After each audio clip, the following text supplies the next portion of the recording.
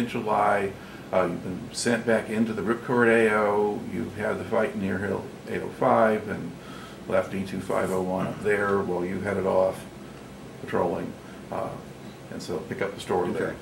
Well, we, we passed the bomb craters where the Air Force dropped the 750 pound bombs on the target that got secondary explosions. Mhm. Everybody's very happy about that. We Came to a little hilltop that had a fresh bunker on it, fresh feces around the bunker. We did not dig in. We got up in the middle of the night. I heard Mhm. something, something alerted me. I said, we're not safe here. We moved out. We got about a thousand meters down, downrange in the dark. Got light. Mortar rounds erupted on the old NDP. Troops Right. were saying, we're pretty lucky. I think that was about where we got to. Yeah, that's about where we got to. Uh, Some of the days now sort of run together, but I'm, it, but, but there's some events that are, that are time-stamped very, very well. Mhm. On the, uh, second platoon, I think I mentioned they got, uh, some stray one-five-five rounds impacted near them Mhm. got that cut off. Uh, It it was just a sign of things getting a little bit confusing, a little bit tense, that they weren't tracking exactly where I was, somebody fired into my area. And the areas weren't demarked precisely, but if you knew I was going down the valley, it it was sort of an unwritten rule, don't, don't shoot something near him. Mhm. You know, so what's near me? So, but did- somebody decided to pull a trigger on shooting a one five five. So this will be the, this should be the fifteenth, and maybe it's the sixteenth, but we were finding underground kitchens. We're finding underground fighting positions. We're uncovering fifty-one caliber fighting positions dug in so that they really only looked at ripcord and you couldn't see them from other angles.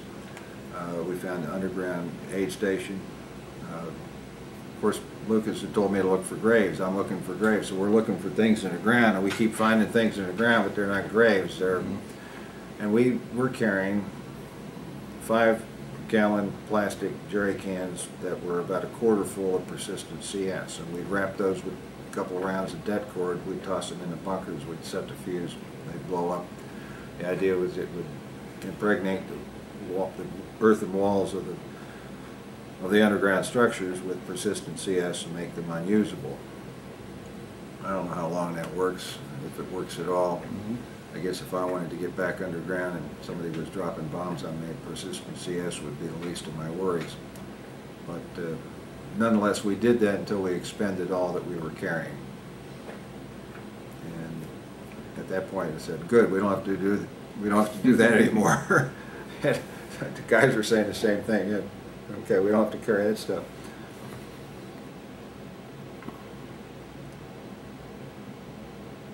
The platoons were still separate, where I separated them. Lee was working with second platoon closer to ripcord. I was hanging around with third platoon because Knoll wasn't there. They- Mhm. I mean, they were essentially leaderless. Mhm. And I sent Piesa farther down in the valley so he could get to work his men, learn them a little bit, and have his own sort of independent area of operation. I wasn't sort of sitting over his shoulder, but we weren't separated by more than three, four hundred meters at any given time. The idea was I wanted to be able to get back together quickly in case something happened.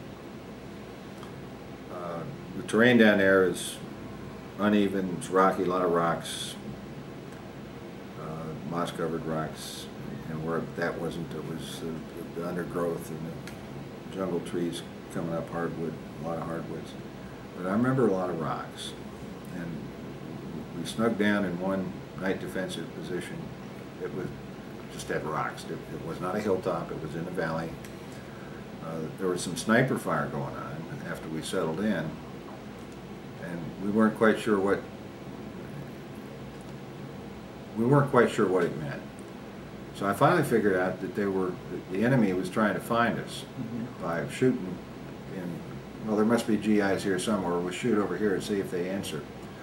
So I told, uh, nobody shot back, I just said, don't, you know, don't, don't shoot back at this. If- We'll call in mortar fire on them, we'll, we'll try to deal with it that way. I don't want you responding to any little sniper shot. And I remember making a, a cracker, cheese, and, and ham slice sandwich over a heat tab flame while the sniper rounds were popping here and there. Nothing close, nothing, I mean, you, just heard the, the zing and the. We hunkered down, we settled down that night, got up the next morning. Uh, and we're gonna call this morning the nineteenth. So, how many ever days we're Mhm. Dicking around down there looking for graves and looking for underground stuff. And I was moving with, uh, third platoon, I wanted to bring second platoon over with me. So I got to CP, we moved over to second platoon. This is when Lee says his guys noted that the CP was making a lot of noise, and we probably were. Mhm. I, I thought we were being pretty quiet. that second platoon, brought them back to third, moving down the trail. Third was leading, second platoon, I was in the middle with second platoon. We're heading toward Pace's position, maybe five, six hundred meters away.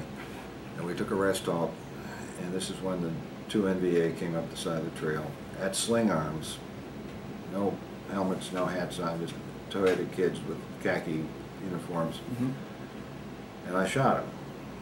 And, uh, and we checked the bodies for intel and whatever they had, picked that up. And we continued moving on. And that story's in the book. That's, Mhm. you know, not hard to get that information. Linked up with Piesa. We moved out a little further, made a night defensive position for that night. And the next day is when we moved down further into the valley, uh, when Piesa found the, uh, the high-speed trail and the wire, tapped the wire. Uh, And on one end of the wire was a division headquarters.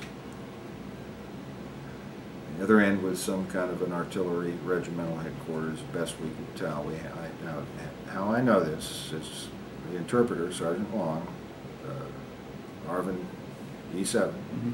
spoke French, English, Vietnamese. And I had one of the Kit Carson Scouts, and we tapped into the wire using the earplugs from the Sony Walkman. That, Or transistor radio in those days. yeah, exactly. I mean, it, would- and the guys weren't authorized to have this stuff. I mean, I for, forbade it, uh, but they ignored it because they wanted to hear the music, and so it was a serendipitous violation of my directives. And the, uh, and Piesa was smart enough to take an extra handset from the PRC-25 radio and splice, use that to splice into the, uh, the wire so that Kit Carson could listen, and they're taking notes. And what, and the Kit Carson didn't understand English, but he understood Vietnamese, and Long could read his writing and, you know, start passing stuff back. So I had double check on the wire as to what was being said. It revealed uh, a lot of very interesting information, which we relayed real time up to up, up to division headquarters through battalion, brigade, and it caught people's attention because for the first time somebody on our side was saying what the enemy had on their side, uh, and suspicions went, suspicions were supplanted by something that was more real Mhm. No longer speculation. So a division means what? Four regiments, three regiments, five regiments, it's augmented divisions, you know, what, what's it got? So three infantry regiments plus a artillery mortar regiment.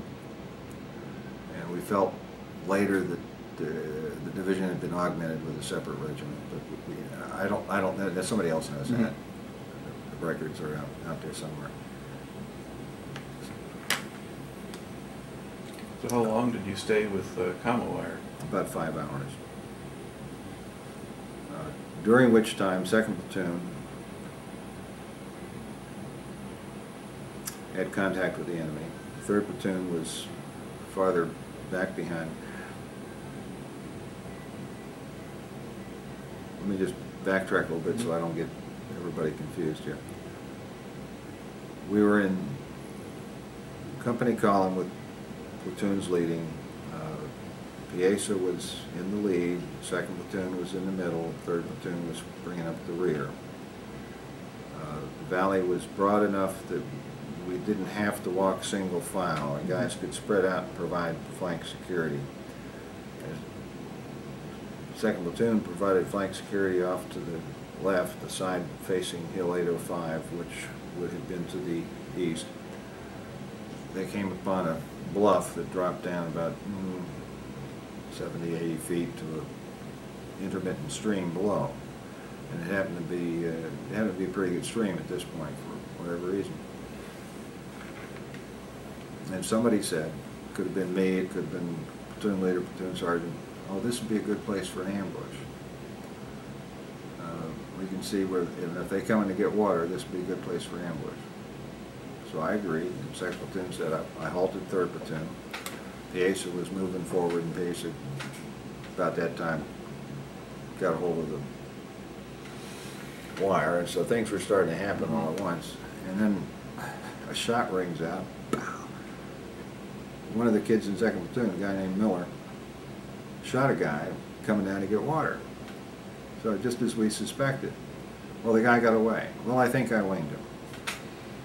Uh, Miller was one of these uh, interesting little GIs that you love to talk about.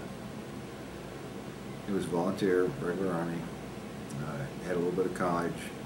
He got to Vietnam, somebody picked him off the airplane and said, you're going to be my clerk. And he was an engineer clerk down in Phu Bai for a couple months. And he said, but his attitude, his attitude was, I didn't come over here to be an engineer clerk. I came over here to be an infantry soldier and fight the bad guy. And somehow or another, my first sergeant got him to the company. Uh, this, I'd like, I like to pretend that first sergeant traded first sergeant, you know, hey, I've got a clerk down here who wants to fight. What do you give me for? Mhm. Some, some NCO deal happened and Top called me up and said, I'm sending this guy, out." we were on a rally when Miller came out. Mhm. He was a roly-poly little engineer clerk. He'd eaten too well down in Phu Bai and uh, he had a few pounds to lose, but he was tough and he wanted to fight and he wanted to carry both the M16 and the M79. Mhm.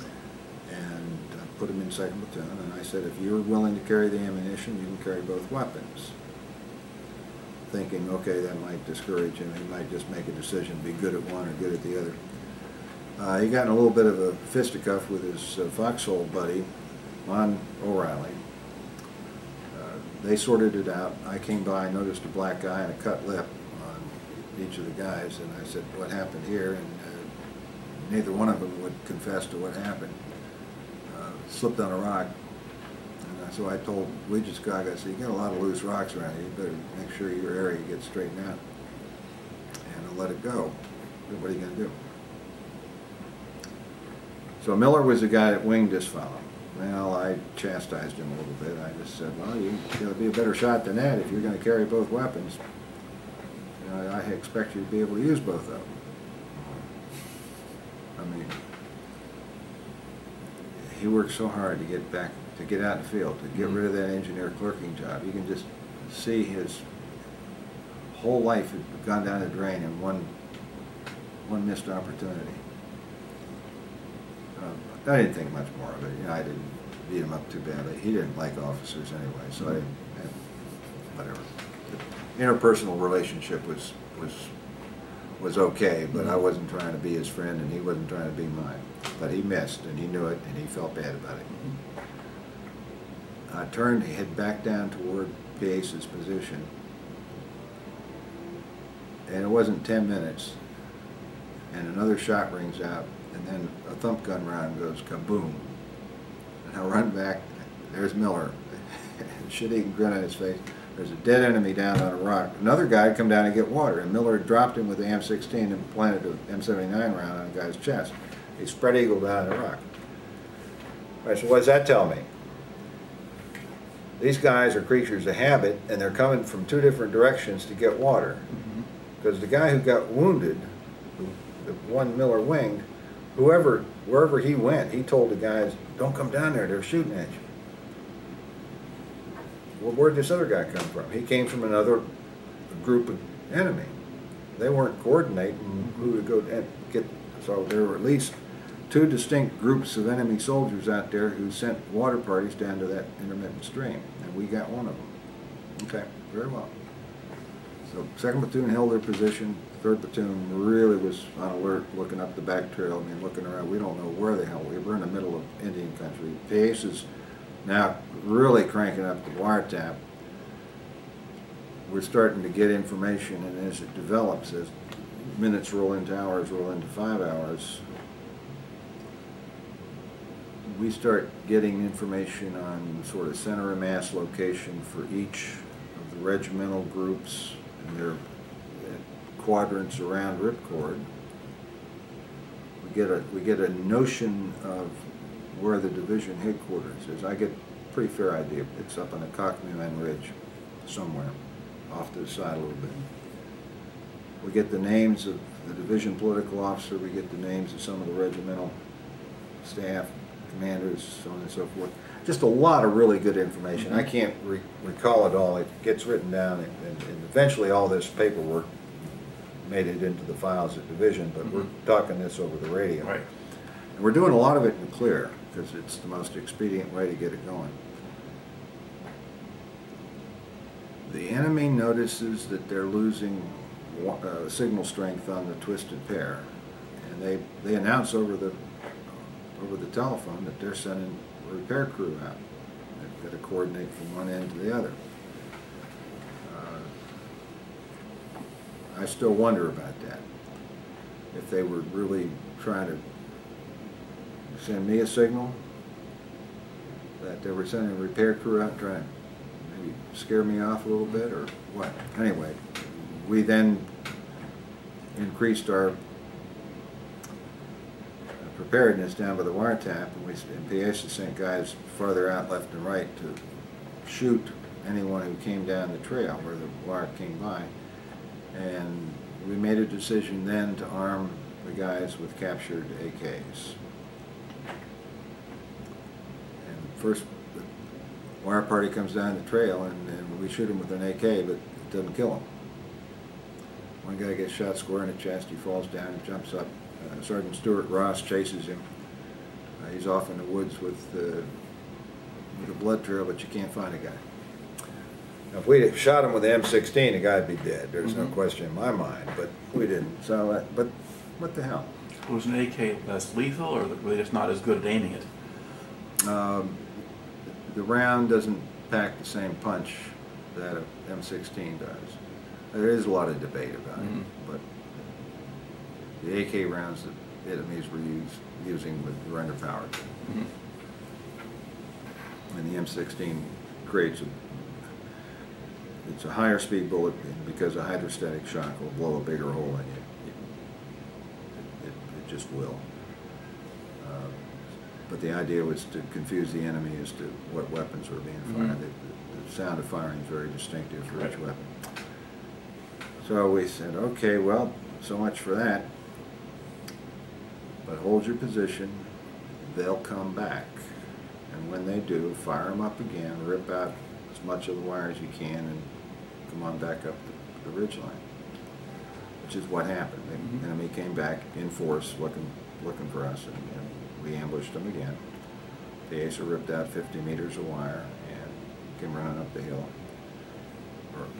We're in a valley, on a ridge line in the valley, and the Mhm. ridge line really isn't very distinguishable, except it's the higher, it's higher than the ground left and right of it, but not by much. The Asa got back, we didn't have any more contact with second platoon, we didn't have any more, any contact with third, we're all together.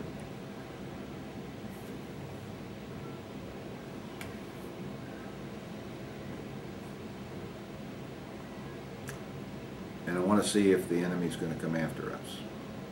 I want to see what, what's going on, and I don't want to be all together in a clump when, when he finds us. So I sent, uh, I- and I wanted to keep all the platoons together, I didn't want to start spreading guys out.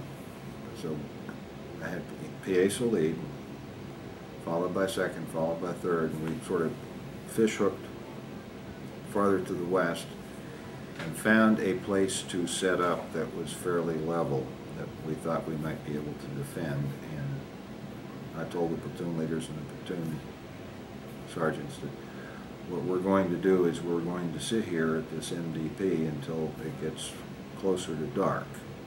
And we're gonna make noise and we're gonna fiddle fuck around as if we didn't care what was going on. In the meantime, we're gonna have listening post outposts around where we are.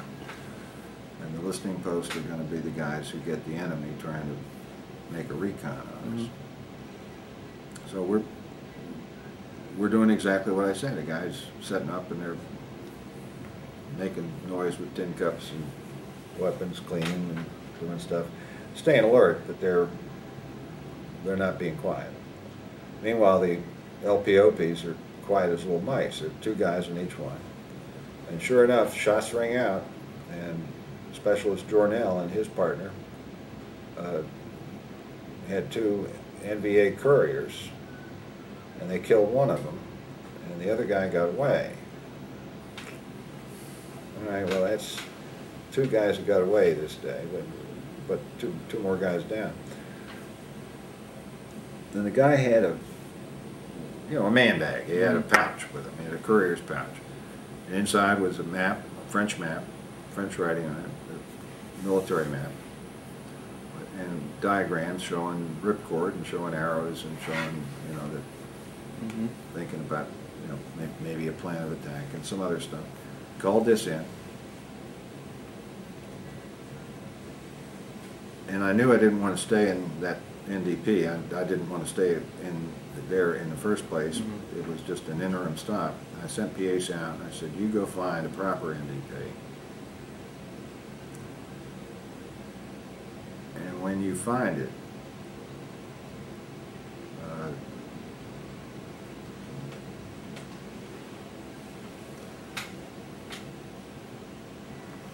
I don't you to occupy it. I want you to locate it, and I want you to be able to come back and have guides bring the other platoon. No, I want you to occupy your sector of it, and I want you to have guides come back and bring the other two platoons into it.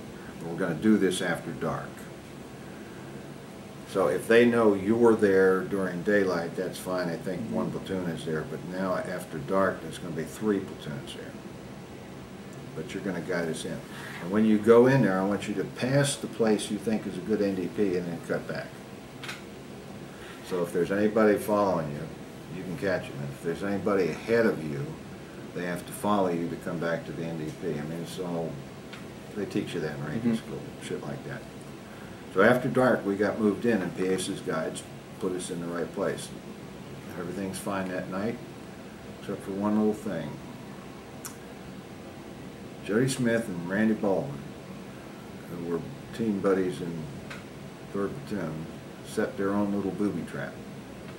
They put a hand grenade with a smoke grenade fuse in it inside a C ration tin. Put a wire, and when the enemy came to trip the wire, pulled the grenade out of the C ration, the uh, smoke grenade fuse is only a second and a half, so it went down like that. And that little booby trap they left behind, they told somebody about it, and somebody told me that it was there, but I didn't learn about it until after the fact. It was initiative, and I'm not sure if I'd have said do it or not, but it was done, so we, I let it ride. I didn't say go back and disarm it. Mhm. And it blew up about midnight. And I said, oh, my heavens. Somebody's poking around where we just were, just a couple hundred meters, maybe two, three hundred meters away, not very far away. So they're trying to find us. All right, so that's the night of the twentieth, twenty-first, we get up. We go back, look, nobody, for whatever, I don't know this for a fact, but somebody apparently doubted the information I was providing the day before. Lucas said, go back. See what you can find down there. Maybe a prisoner. Confirm the information you gave us yesterday. Okay, so we've gone from looking for graves. We've got to be killing some of them too. Mhm. They don't believe the information I got from the phone tap. They don't, they're not putting any credence in the multiple contacts. They're not connecting the dots. Mhm. And I've got to go get a prisoner. So I send third platoon, it's time for them to go in the lead. So they head, they head down the trail back to where we were from. And no kidding, they run into three guys and they fire them up and they kill two and one gets away. And one of the guys that they killed isn't dead yet and Doc says, well, maybe, maybe we ought to put him out of his misery. Know, his brains are leaking out of his head. So I said, yeah, go ahead and put him out of his misery. So, so we killed him. We didn't have a prisoner. Mhm. I thought for a minute we might have, but we didn't. At that point, I called the guys back. And I called Lucas and I said, you know, we, we just ran into contact. And I think I can confirm to you that uh, with the courier information and all this other stuff, that, you know, we got some real stuff out here. So he let, he took that. Now, in the meantime, every- every- everybody up at Ripcord, everybody in battalion headquarters, the other companies, things aren't static. Bravo Company's defending Ripcord. Mhm. Alpha Company's in the field. Uh, Charlie and Delta are somewhere else. Charlie's either on a rally or back in the rear. And my classmate Don Workman is in contact on the other side of Hill 805. And I'm not gonna link up with him like somebody had thought to, to do several days prior. I just wasn't gonna, gonna get there. That, that wasn't the direction I was gonna go anymore. So then, I guess on the twenty-first, they were sending Rawlison and Charlie Company out to get, Yeah. they had gone out either on the twentieth or twenty-first, and they were getting, uh, they were getting Don Workman's company out, and then Donnie got killed on the twenty-first during the extraction. So I'm pretty much by myself. Uh, And as soon as Rawlison and, and Charlie Company under Ken Lamb now, uh, get Workman's Company out, there's me and there's Bravo Company, that's it. Mhm. And maybe there's some second of the seventeen scouts off in the valley somewhere, but there's nobody else in the Ripcord AO. And we know that the Chinook crashed on Ripcord on the eighteenth of Mhm. July, got shot down, and fuel blew up the ammo bunker. We, we just got, took all kinds of stuff, raining down on him from that, and we knew that it sounded the death knell for Ripcord, we just didn't know how long it was gonna take. Mhm. If we could have found stuff before then, but it didn't happen that way. So everybody's busy and Chuck has to figure out what to do on his own. So I do the same stunt that night as we did the night before, move after dark into an NDP. And we did. And We didn't do much. We didn't do much that day. Uh, I just wanted to stay shy of the bad guys. Mhm. Now, how am I gonna get out of Dodge? I don't know what Lucas wants. I don't know what's going on with other activities. I do know that it's, that there's a good like, he can do two things. He can send in, he can get brigade or division to send in more units and we can pile on this enemy Mhm. division, division. And that's always a possibility. Or we can get everybody out of Dodge, which is the more likely probability.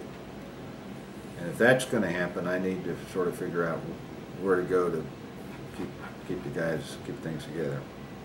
Got up the next morning, you do your, your, your first light business, you check the perimeter. We don't have any enemy poking around that night, or if we do, we don't notice them. And, uh, I send Piesa out, leading the company to the northwest, to an LZ area that I know about, about 800, 900 meters away.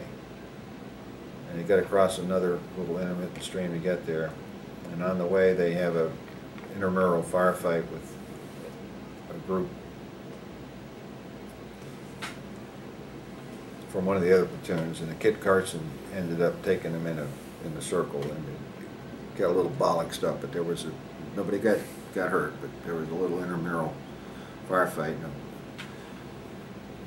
So, okay, everybody settle down. About that time, Luke, Lucas called me and said he wanted me to come back to that same LZ just east of Ripcord.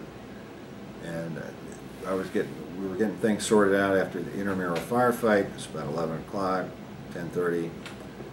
And I was trying to tell Lucas that uh, I didn't want to go where he said to go. He said, come up on secure, we'll talk about, it." came up on secure, he told me where he wanted me to go. I said, sir, that's not tactically sound, and the secure set went dead. Mhm. Those sets were always going dead.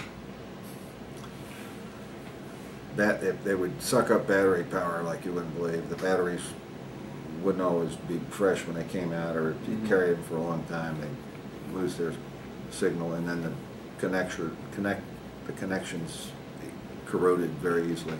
Guys were constantly taking rubber or pencil erasers and scraping them off. Went dead. Rather than get, try to get it fixed, or, and, and we did, and the radio operator tried to rub off the terminals and nothing worked. So we encut, we encrypted uh, the code from the manual shackle code that we had, you know, one, one letter at a time, and sent that over the clear. Well, by the time we got that shackled up and sent in, Lucas was gone, Tanner was gone. The only people at the TOC that were responsible for anything were the radio operator, E5s and E6s. There wasn't an officer in Ripcord to be found in the TOC. Mhm. There may have been officers somewhere else, but. So that coded message sat there. And so I'm waiting for a response, and there ain't no response. So I say, okay, guys, come on back, Bill, come on back. You take a break, I'm gonna send second platoon, we're heading back up to Ripcord. Third platoon, you're gonna follow first platoon. I'll be with first platoon after second moves out. Got it? Okay. And guys are going, what? That's, that's, time out, fellas. We just, we just, my decision, we're going up to Ripcord. We gotta get up there. Speed is of the essence. Speed is our security. That's- And I knew it was wrong. If I had to take back a decision, that's one of the very few I'd take back in my life. Mhm. Uh, And Lee moved up, and 150 meters downstream, he got, uh, he ran into the right flank of an enemy group that had come around about two-thirds of the company, and uh, the battle began. Now, Lee remembers it differently from me. I remember us starting the fight. I remember his point team jumping uh, an enemy machine gun nest. He remembers them shooting at us, but that's neither here nor there. That's all in the, that's all in the weeds. As soon as Lee's fight started, and, and he was just out of eyesight, he was just mm-hmm. out of con, he was far enough away, which, which is a good distance to be. The enemy mortars started coming in on us. There was no time to think about reinforcing Lee. We had a fight on our hands with first platoon, third platoon, and the command post. And the orders were one thing, and I, and, and then you saw enemy coming out of the bush. I mean, not just, they were attacking, they were in mass, they were, Mhm. a bunch of them, you could, some guys were wearing blue pith helmets, maybe they were leaders, guide on me. They were crouching, they were running, and we had guys shooting. Where we lucked up was we were uncoiled, we were in column formation, we presented maximum weapons broadside to the enemy. If we'd been in a little perimeter, only one-third of our weapons could have been facing the enemy assault. But we were linear to their linear, and uh, I, I think it worked to our advantage, at least initially.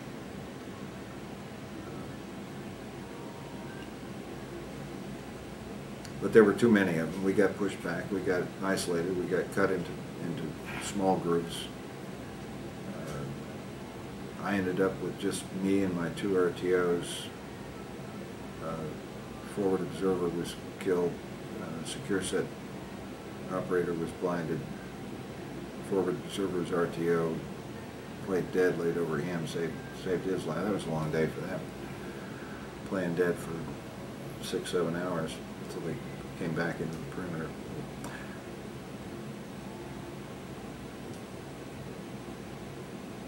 I don't, I don't necessarily need to go over everything that's in the book. I know you want to have this on, on tape.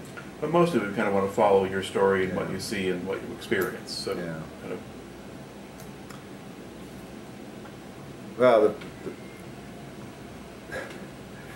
a lot of things happen at once. I noticed that the, that the mortar barrage included chemical shells, uh, CS, Mhm. tear gas shells.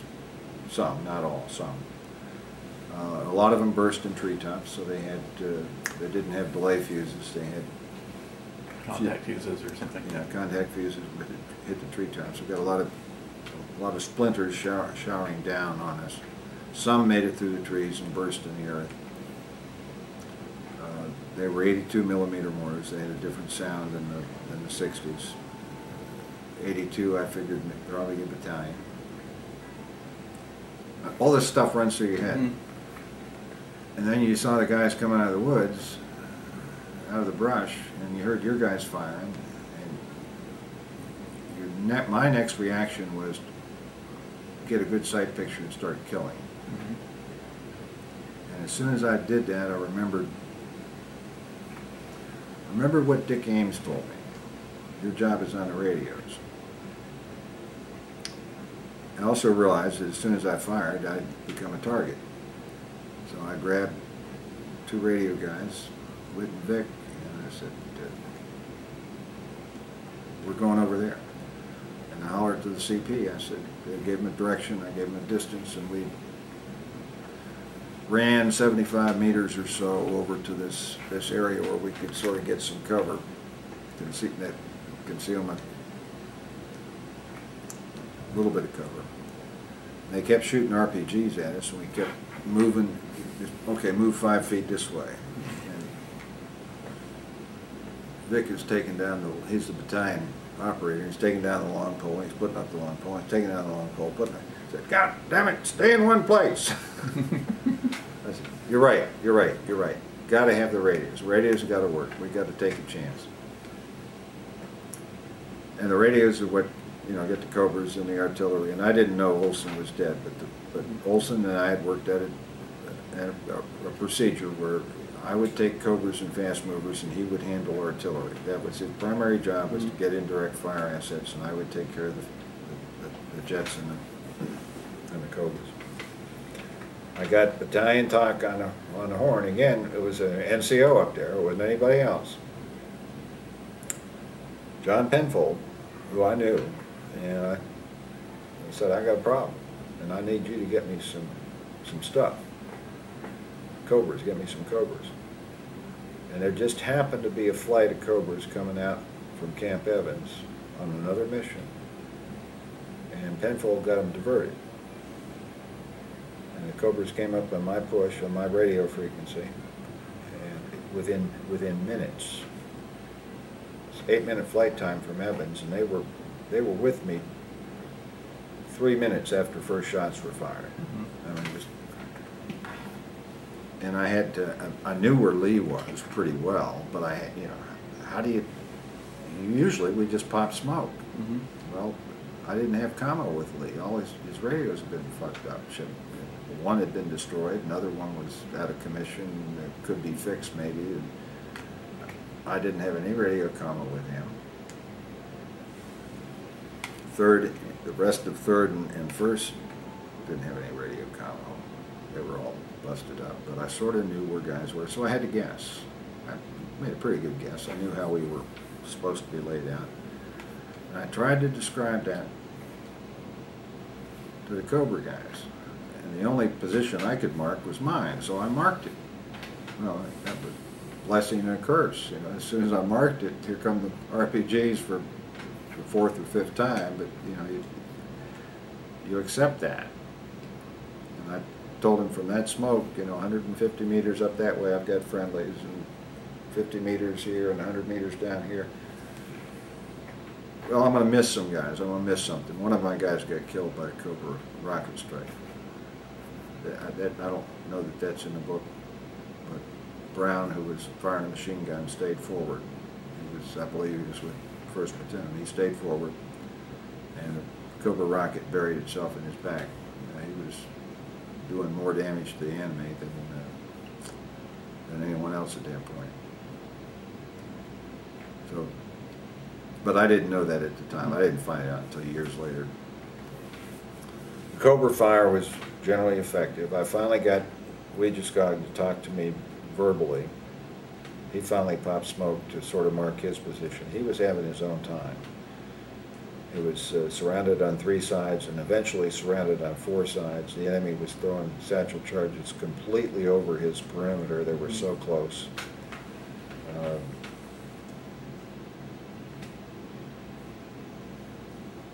third platoon and, and first platoon, little clusters of men, they'd, they'd have an enemy hiding behind a tree on one side of a bush that the, uh, the GI would be, you know, they'd be looking at each other and somebody trying to draw a bead on you.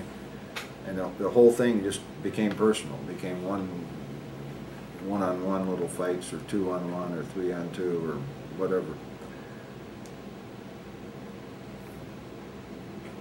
to cut it shorter, I got done being scared. And I was really afraid. And I was afraid for a lot of things. And not just your life, it's not just getting shot. I was afraid, do I have to break up the company into groups of two and three and exfiltrate? You know, what, mm-hmm. how do I get out of this? And there didn't seem to be an answer. And I have never been without an answer before. So that's, that's a little tough. Mm-hmm. And I realized I had resources that I, that I was, I would have to use. And those resources, in terms of support from the air, then I could get the troops together on the ground, I would have to do this. I, I understood what had to be done. And after about twenty minutes, the Cobras had been working for me, and they seemed to be effective. Um, I realized that if I'd worked it right, I could pull us through this thing. But it was gonna take a lot of, a lot of effort on the part of air support. And I talked to battalion TOC, I asked about artillery support, if they had, if, are you firing anything for me? No, we're not in contact with your Fox Oscar. I said, okay, I'll be, the- uh, from now on, I'm your Fox Oscar. I'll fire your artillery. I need to do that to the Fire Direction Center up there. You have to relay for me. So we have a battalion TOC, See, again, no officers up there. They're, they're gone to the rear to plan the withdrawal for the following day.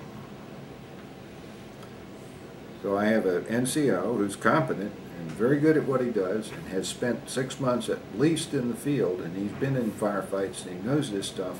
And he's the guy who has to coordinate with the Cobras, with the air, forward air controllers, with the artillery. And I get artillery cranked up and it comes in where I say to put it. Um, Fast movers are coming on station. It's about the time the Cobras break off, forward air controller, their call sign was Bill three four, a guy named Skip Little, Major. Uh, What do you got down there?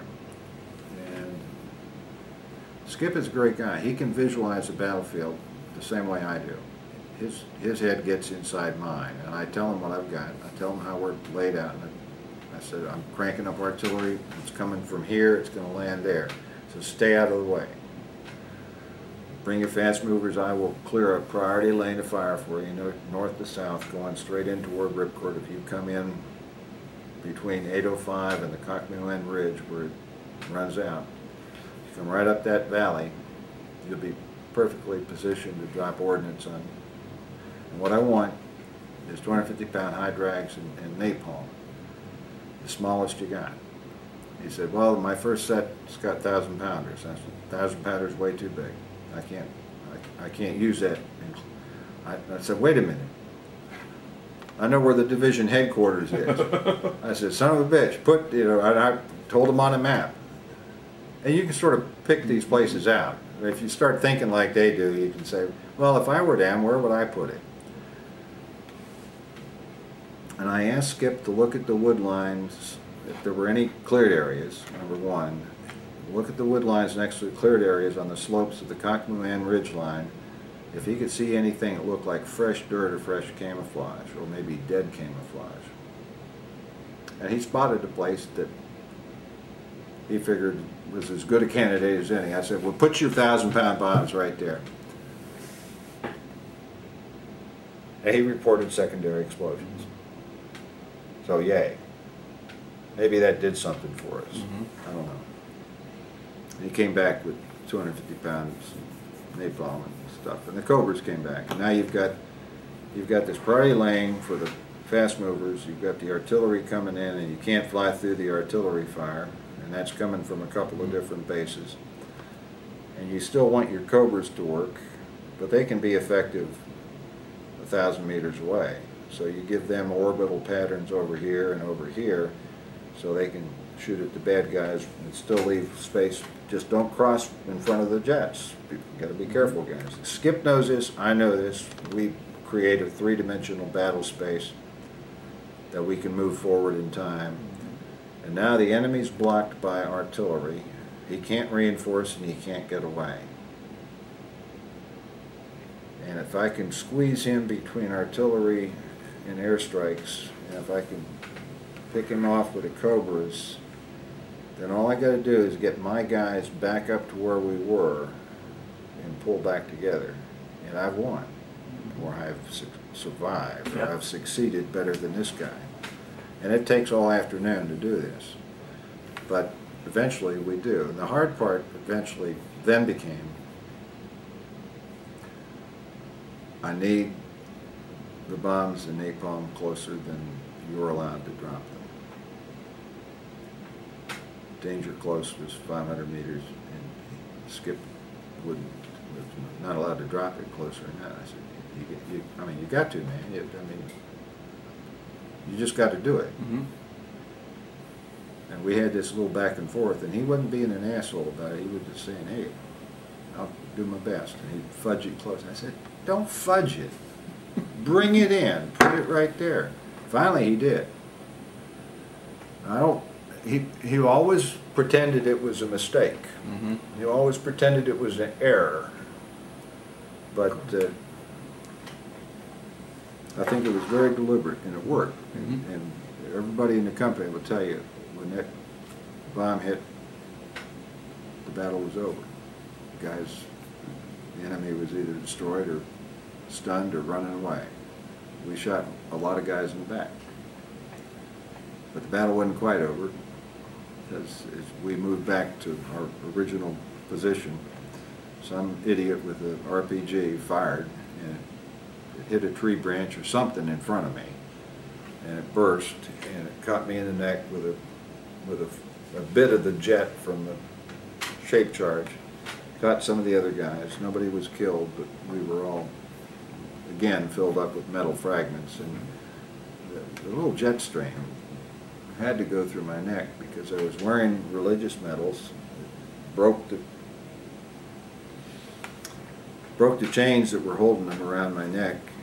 You can still see the where the hole came out, and that jet just missed. It followed soft tissue and missed all the hard tissue. That's the- the only thing I can think of. It flipped me up in the air and turned me upside down. I landed on my ass and I thought I was dead. Lee had a working radio by this time. I, meant, I went to call him and turn the company over to him. Uh, and I realized I wasn't going to die. And so that was sort of the last shot fired. But It's gotten late in the day by this time, hasn't it? Yeah, it's pushing five, five o'clock, five thirty.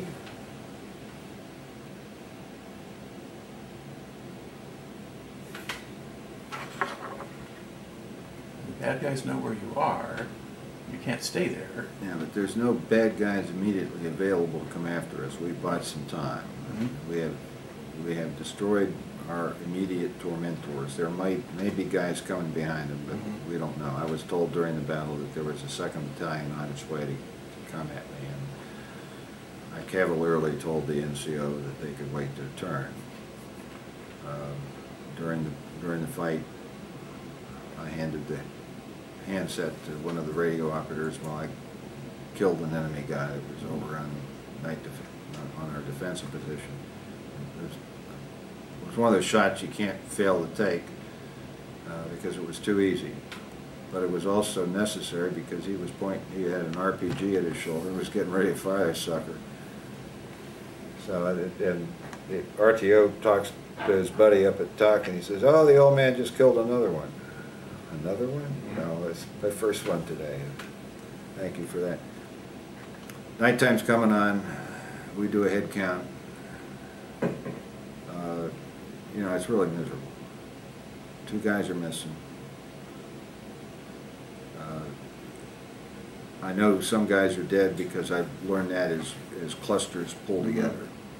As guys from first and third joined my CP during the course of a five-hour battle.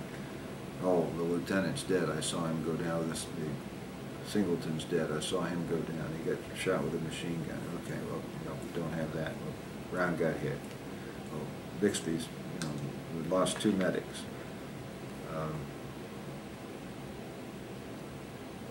So you want to find out who you got left who can fight, because you're going to have to do this again pretty soon. You don't know when, but you think pretty soon. I counted 20 guys that could pull triggers out of 75 man, 74 men and myself. I counted 20 guys that I had confidence could form a perimeter. Say 20 from 75, that leaves you about 55 guys that are either dead or wounded Mm-hmm. and they gotta go somewhere.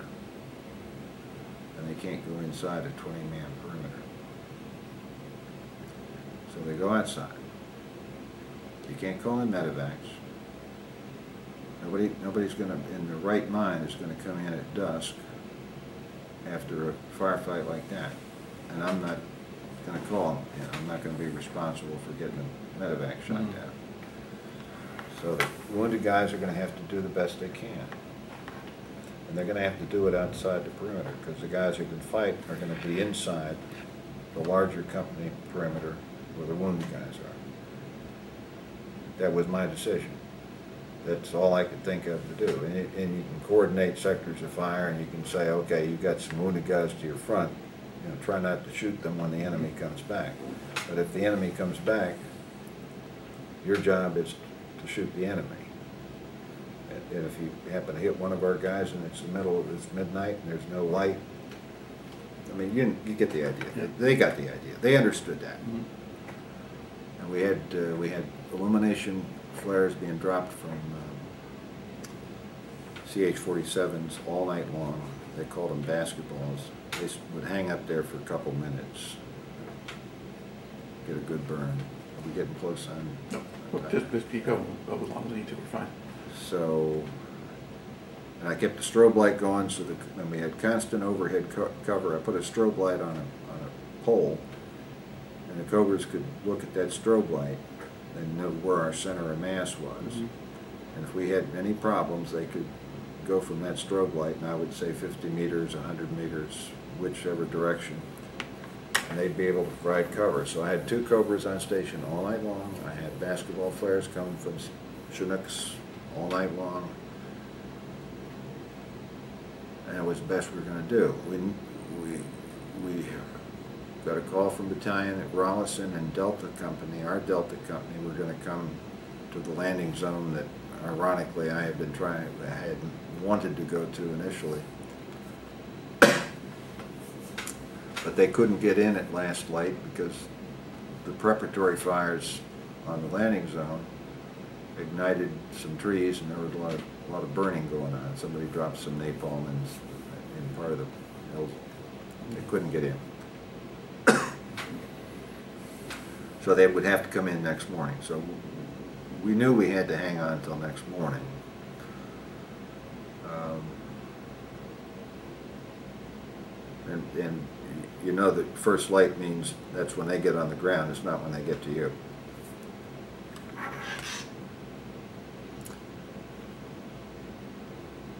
So did anybody bother you that night? No. They stayed away. Okay. I don't understand it. Except that you, and they'd been chased off, and if you maybe had hit their headquarters, there was no one to make a new plan. I don't know. Jim, that's wonderful speculation. Yeah, but that's I mean, all it it- is. It's, but it, it's, it, but it's, it's all soup for the analysis, Mhm. and I don't know what, where that analysis goes. What you do know is that nobody else came. Nobody else that night. came. The only incident was, we had some mortar illumination. They still had mortars on the ripcord, Mhm. And they fired some illumination rounds for us. One of the, uh, illumination rounds pop, there's a little donut ring that pops out that helps separate the canister from the parachute. And that donut ring continues on the original trajectory of the round. The, the base of the round falls away, the parachute floats, and the donut ring continues, and it makes a little sound. And you can, and they crash through the trees, and one of them, they started coming into the perimeter, and one of them hit our friend Miller in the helmet. And it's only about a, a half a pound of metal. Mhm. But you hear it whopping in there and you hear it clang, and you hear somebody curse. And I went down there and I said, oh shit, please, please don't let anybody be hurt. And it was Miller, and he got a cut down the side of his face. It wasn't, wasn't great. And he looked up at me and said, God damn son of a bitch, I've been fighting all day, I haven't got one wound. He fought with his M16. That was shot out of his hands. He fought with his M79. That was shot out of his hands. He picked up a captured enemy AK-50, the folding stock version of the 47. He killed seven enemy with their own weapon. Mhm. He's one of the one of the killer angels of that uh, of that battle, one of the heroes. And that son of a bitch got no scratch on him until that D ring hit him on the damn head. And oh, he was angry. He wanted to go up and get somebody. I said, "Calm down. I got it shifted. Everything's gonna be fine." So maybe he was getting back at me for chastising him Mhm. a couple of days earlier. But uh, we made it through the night. Rollison uh, got on the ground the next morning. They had contact. We could hear it. We could hear some some shots. He just bowled his way through. Enemy was not organized enough to offer him resistance, which probably tells you why they weren't organized enough Mhm. to come after me. Um, he got close. He called me on the radio and said, Hawk, tell me how to get to you. And I said, uh, I fired some shots in the air, three shots. Home in on those. Do it again. Do it again. He said, man, I'm having trouble locating. I said, just follow the bodies.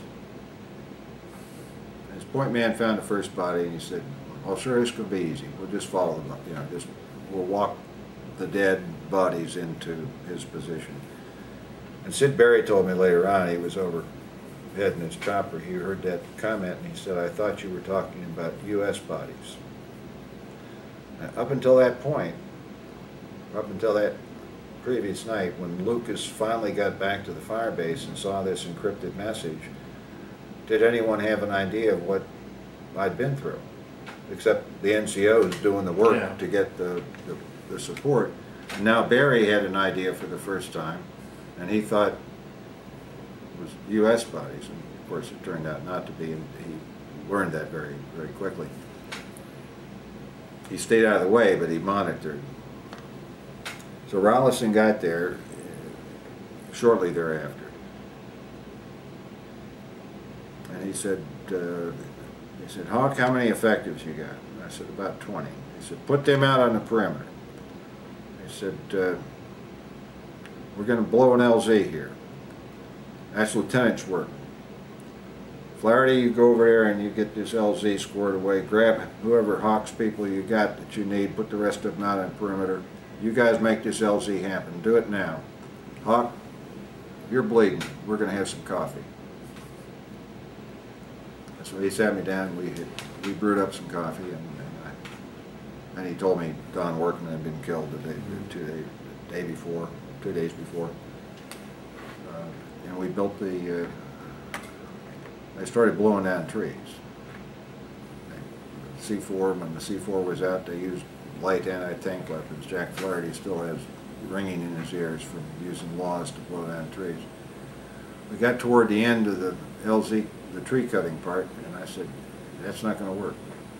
You're gonna have to build a log stanchion, log platform to let the choppers guide on and set down. Mhm. So we built a, we built a log platform about six or seven logs high. And that allowed the, the, and put a layer of logs on top, and that allowed the choppers to focus on where to get down. They could Mhm. sort of get a level place, they didn't have to worry about avoiding stumps. Mhm. We could get dead guys, and wounded guys up there on litters, get them on the choppers. And, uh, we didn't have too much trouble getting guys out. Uh, We organized the chalks for extraction, but some of the guys were a little gun shy, and they wanted to, they broke ranks and got on choppers earlier than they should have, and and said, just, don't worry about it, you can't, just let them go, somebody else, most of the guys cooperated, most of the guys worked it out, somebody went early, somebody took their place later. Uh, Didn't happen much, but it did, did happen, I mean, human nature being what it is. All right, this tape is now. All right, so we've got, gotten to the point where you are now using helicopters and getting your company uh, out of there. We've, we've pretty, pretty much got it handled. There, Yeah. there was a couple of guys broke ranks, not to worry. Uh, The last two or three choppers, we're gonna take primarily Delta Company. We started integrating Delta and Mhm. Alpha Company guys toward the end. Mm-hmm. All the Alpha Company guys are out, Delta Company guys are gone. Just a handful of Alpha Company guys to go, and I, I said, I'll go on the last chopper, you know. Mm-hmm. Rollison said, bullshit, you know, get on, you know, just get out of here. We left a lot of equipment behind, I worried about that. And he said, we'll call it an airstrike afterward, just do not worry about it. Okay, fine. So I got on the third to last chopper with my RTOs and a couple of Delta guys, and then Rollison and his guys got on the last two come, coming out. And uh, we made it back. I found out from Randy House, who was the flight lead, that they were actually flying underneath the guns of enemy machine gunners on the ridge line. Mhm. They dug in their machine guns to shoot at ripcord, and helicopters coming in ripcord, and they didn't have the time or effort or They didn't depress the barrels. they couldn't, they couldn't depress the barrels and they didn't want to dig out to depress them because that would expose them. So House was able to fly under their guns. We drew some fire the last few choppers, but very little, and it was, wasn't effective. And I don't know if it was coming from ridge lines or a couple of guys out in the, on the ground. Anyway, we got, uh, we got out of there. Mhm. Uh, Nobody was shot down, everybody choppered down to our little LZ and picked off, and it wasn't some, it was not something you flew into, you had to hover and come straight down and come Mhm. straight up. So it took time, and there was a lot of exposure, and those uh, helicopter pilots, every one of them came straight down that, that channel and went straight back up. So, uh, we got back to the rear, early afternoon, big welcoming party, but didn't know you guys were gonna make it. Mhm. And here's Rollison, who's gone out, how many, how many different times has he gone out to save somebody's ass? Mhm. And, uh, you know, I'm, I'm the next chapter in that story. And we get back to rear, and then that's when I, that's when he, that's when I find out, that's when he tells me that not only did my classmate Don Workman get killed, but Lucas was killed that Mhm. morning along with Major Tanner. And Rollison really loved Lucas. They were, Rollison was Lucas's favorite mm -hmm. commander, and there's no two ways about it.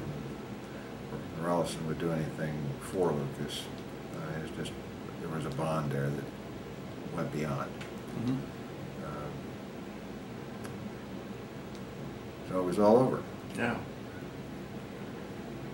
But uh, now, did you have to spend any time in the hospital with your injury, or was that no. minor enough that they just bandaged you and moved on? No, Battalion XO Davis took me down ostensibly to see my troops at 85th Evac down at Phu Bai. And while I was there, he hustled me into an x-ray room and had me x-rayed. And there were maybe 50 different pinpoints of metal show up. And the doc said, you know, if we operate, he'll look worse than he does right now. Most of it will grow out. Most of it will work its way out over time. But there's nothing life-threatening and nothing duty-threatening. He can go, he can go back. And I, Davis, you tricked me into coming down here to see my guy just so you get me X-ray. Mm -hmm. He said, oh, blah, blah, blah, blah. So I did have one guy die in the hospital from his wounds, Neil. But uh, that was tough. One guy was paralyzed forever from the waist down. Rick Ison lived in Colorado, died a few years ago. It's just not easy. Mm -hmm. Knowing, uh, knowing what these guys had to go through. But they went through it. And they had a tough spirit. And when Rollison's guys came in, they, uh, they recognized that we'd been in a fight, but they also recognized that we were we still had something left. Mhm. And I'm thankful for that, because the something left ended up a week later being nine veterans of Ripcord, nine veterans of that set of seventy-four mm-hmm. going out with, uh, with twenty new, thirty new, thirty new guys. At a thirty-nine man company. I had nine-man platoons, three nine-man platoons, so, you know, the, the CP. Now, gradually, guys came back. Mm -hmm. Some came back to duty in the field. Uh, the wounds were not that bad. Some came back to duty in the rear because they'd had enough time in the field. Uh,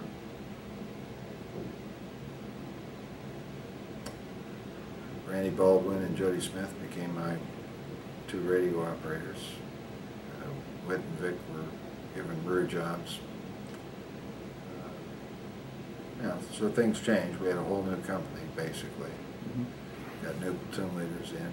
We just got was the only, you know, consistent thread, and you know, almost almost overnight, he became the old the old pro. Right.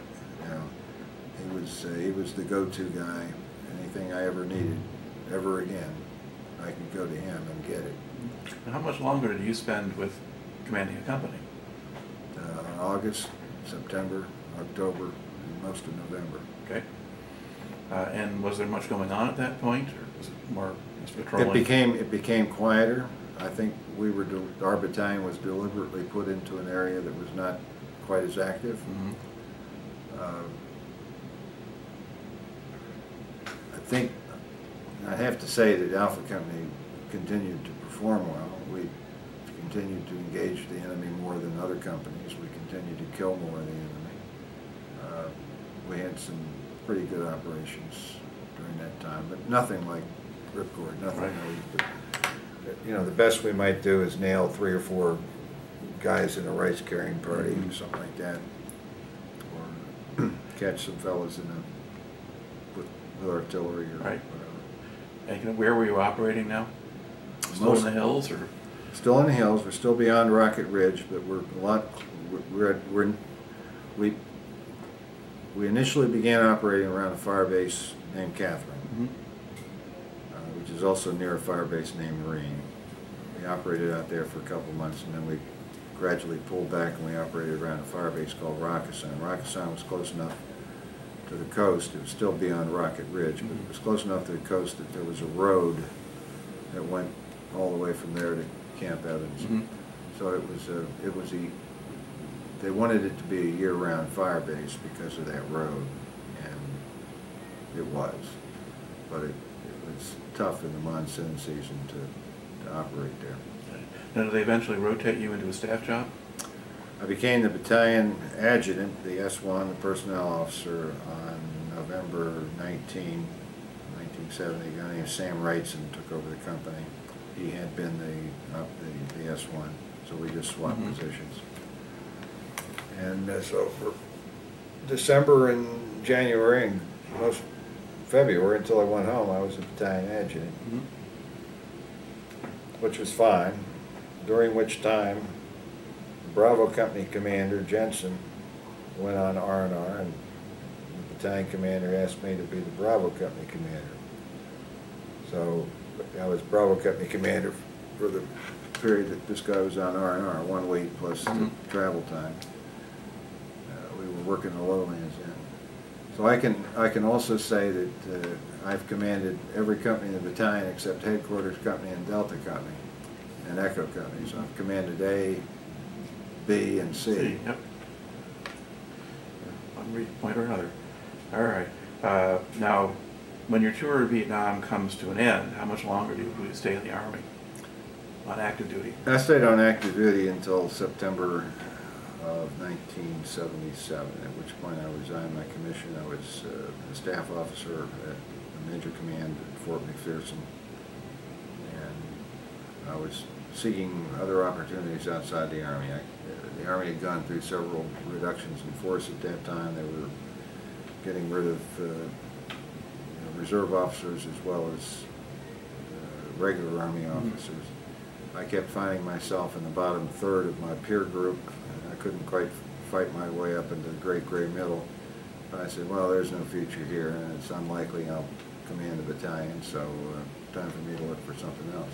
Stayed in the Army Reserve, served, uh, I served with an Army Reserve Training Unit Fort Gillem, Georgia, for a couple of years until I was uh, notified by a friend at the First Battalion, 121st Infantry, Georgia National Guard needed a company commander down in Thomaston, Georgia, and they needed a Bravo company commander. And so I went down to talk to the battalion commander, who was the general manager of one of the tire, uh, one of the belted radial tire mills down there, and he said, Billy, Billy Phillips, and he said, yeah, I need a com- com- company commander. I said, Bravo Company can't seem to keep a company commander. I've had five in the last four years. I said, well, I'll hang around a while, but you gotta make, you know, at some point, you gotta make me a major and bring me up into operations. And he said, oh, we'll, we'll do that. So I commanded that company for three years, uh, which was some pretty good guys. We had fun there. We went to annual training. When did I take, well, whatever. I took over. I realized that these guys needed somebody to help them spell Army. As much as you like the Guard, the Guard is, needs a little bit of leadership. So I said, you gotta pass the PT test, guys. That's the main thing you do. I mean, next, next month, we'll talk about shooting a rifle. You gotta get in shape. You gotta, you gotta pass the PT test. They had three or four months to get in shape to do that. I knew they wouldn't do it. Mhm. But we went down there and we took the PT test, and fifty-five percent of the company passed the PT test. Now, I'm, I'm used to having a 98% yeah. pass rate on active, active, active duty, right? Mhm. And my challenge was, if your squad doesn't pass, if seventy-five percent of your men don't pass, I'm gonna get rid of you. If you don't pass, I'm gonna get rid of you. Well, I can't do that, but. The nearest company to my company in taking a PT test was thirty-five percent. One-third of the guys passed the mm-hmm. PT test. Two-thirds are out too much out of shape to pass the damn thing. Battalion commander comes over to me and I said, wow, your company really looks great. I said, sir, fifty-five percent's barely, that's nothing. It's still enough. I said, every one of these guys that fails is, ha- have, has to retake the test before Christmas. Or, or I'm gonna, the term I use is put them on waivers. I'm trying to speak Mhm. football, you know. I'm gonna put you on waivers. It it wasn't a game. I was serious about it. But I eventually got everybody past the test. Anyway, that- the Georgia Guard treated me well. I moved up to Virginia later on, became a member of the Virginia Guard. And that's where I retired out of in ninety-two. Uh, Okay. And did you have a civilian career as well? Yeah, I worked computers down in Atlanta. Uh, When I came up to Virginia, I was brought up to work for a computer company called Sperry Univac, which had computers in the White House. They Mhm. provided digital communications for the president. So I worked at the White House Communications Agency for a couple of years as a contractor. Uh, After that, I moved on to higher speed uh, computing uh, machines. And at some point along the way, I met, I met a small firm that did defense work, uh, and did military, uh, military history research and used data from history to actually help develop models of combat, simulations of combat, Mhm. force-on-force simulations. Uh, Basically an operations research arena using historical data to populate the, uh, uh, the models that we used. It was, uh, it was interesting work, and it got me, uh, got me exposed to, uh, to a different way of doing business. I ended up, I ended up being the senior VP and then the president of a small, very small beltway firm. But during this period, I got exposed to China for the first time. And subsequently have spent over two years in China doing uh, work for the U.S. government on over 50 trips and have become one of the fellows that the Defense Department calls on to try to understand the relationships between China and North Korea. I've spent maybe over a dozen trips up to the frontier. I don't go to North Korea. I probably wouldn't come back if I did, but I am easily welcomed by the Chinese to Mhm. look at North Korea from their side. They're as concerned about North Korea as, as other people are, but for different reasons. Right. And, and they welcome having an American who has the ear of people in the Defense Department so they can tell their story to him. Mhm. It's like throwing wet toilet paper up against the wall. Some of it's gonna stick. And some of it does, it takes time, but the Chinese have a perspective that we find valuable. And it's, uh, it's helpful in our, in our defense Mhm. planning to know alternatives to Chinese thinking on such issues as North Korea, Korean unification, Korean stability, Korean Right. economics, and so on and so forth. And so I've seen a lot of changes up there, and, and I keep going back, and I keep looking at things and trying to figure out what, what it all means. Mhm. All right, so the, really the military has kind of threaded through pretty much your whole life on a Oh, lot yeah. of different levels. um, And remains there. Okay, well, it makes a remarkable story. I know there's probably an assortment of dimensions we haven't even gotten into, but uh, for our purposes here, you've done a great job and I've overworked you thoroughly. So thank you very much for coming Yeah. and sharing today. You're certainly welcome. All right.